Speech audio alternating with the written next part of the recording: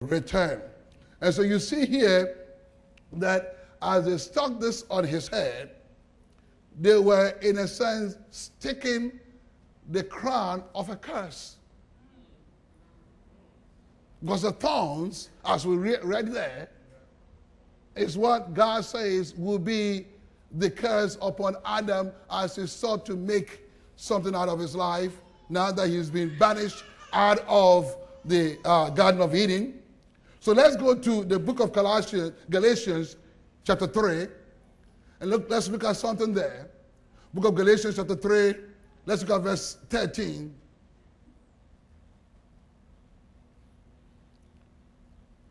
And so it says, Christ has redeemed us from the curse of the law.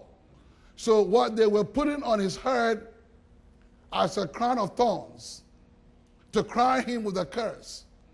God was using that as a way to be a curse for all of us as he hung on the tree. Because as you know, he was wearing the crown of thorns on the tree. Remember that? But all of that, excuse me, all of that was for a purpose. As I said, God is the most purposeful God out there. They thought they were releasing a curse upon him, but he was becoming a curse for you and I. Therefore, we are no longer under a curse. The scripture says that we have been redeemed from the curse of the law. Oh, praise the Lord.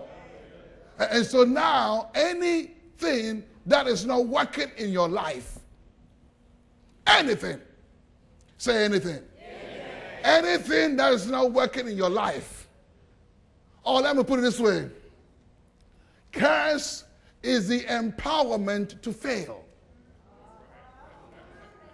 Anything that grants power to bring failure into your life, whatever it is, God says that with the crown of thorns on Jesus' head, as his blood came down from his head, it was releasing you from everything that has empowered you in the past to fail.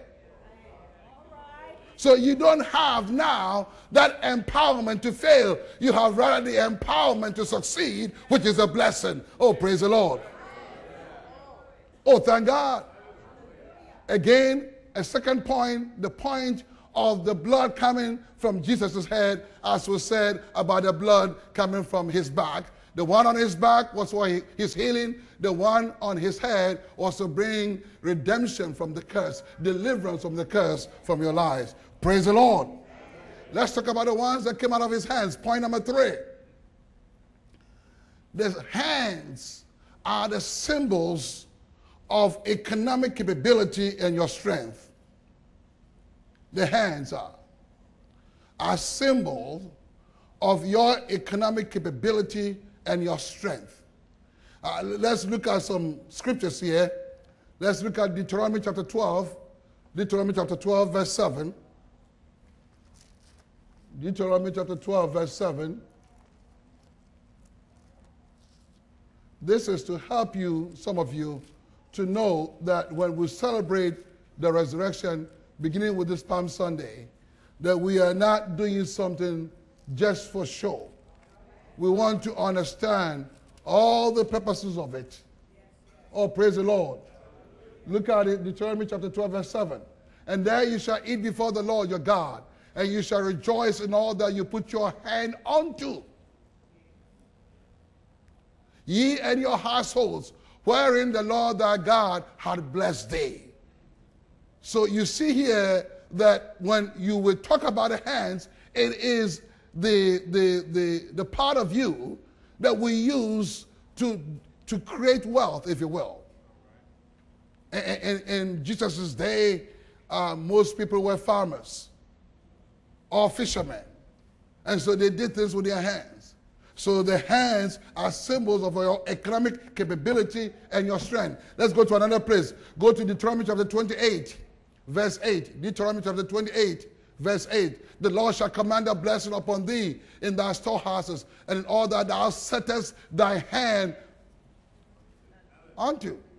Whatever you use your hand to do, God says what? He will bless you. And so when the blood was flowing out of Jesus' hands, it was for your benefit to prosper you. You have now the blood bought right that whatever you use your hands to do, you will prosper in the doing of it. You have to believe that, you see. You have to believe that. Whatever you put your hands to do, you will prosper because eh, God is a purposeful God.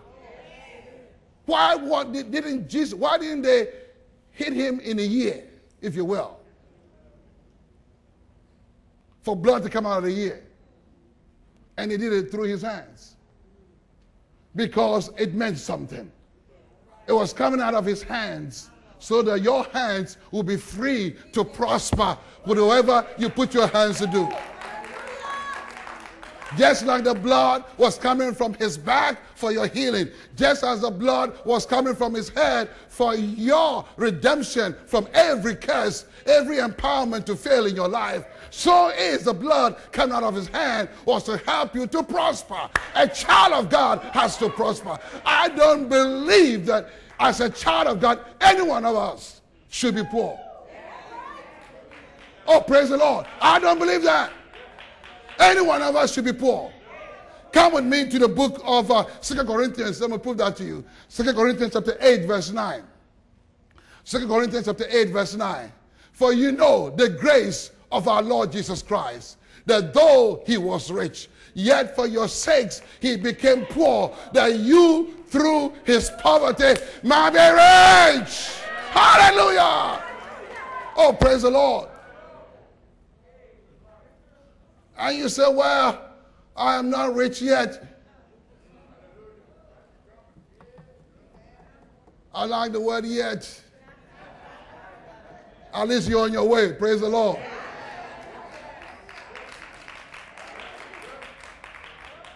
God wants you to be rich. This is why Jesus suffered for your benefit.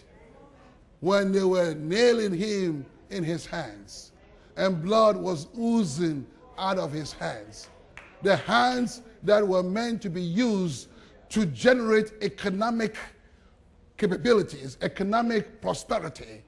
God was saying that the blood, when it touches you, from his hand will provide, produce, procure in your life prosperity. So every child of God who honors the blood of Jesus today, that person ought to also receive the honor from God to be prosperous. But you got to believe it. It doesn't make a difference how impossible that might be. I often say this Anything that is impossible is a faith project. To receive a copy of today's message in its entirety, write to us at Word of Life Christian Center International. When you write, be sure to include the name of today's message and your choice of either an audio or video copy. CDs and audio tapes are $5 and video cassettes or DVDs are 10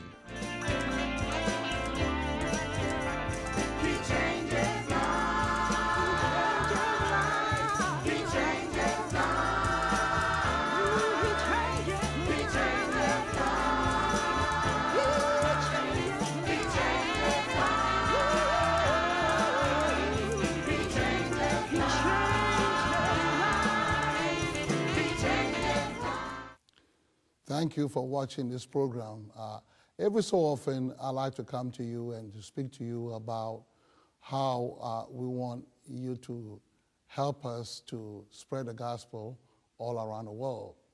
You know, uh, it takes uh, quite a bit of uh, work to put things together uh, regarding a TV program that brings out the Word of God.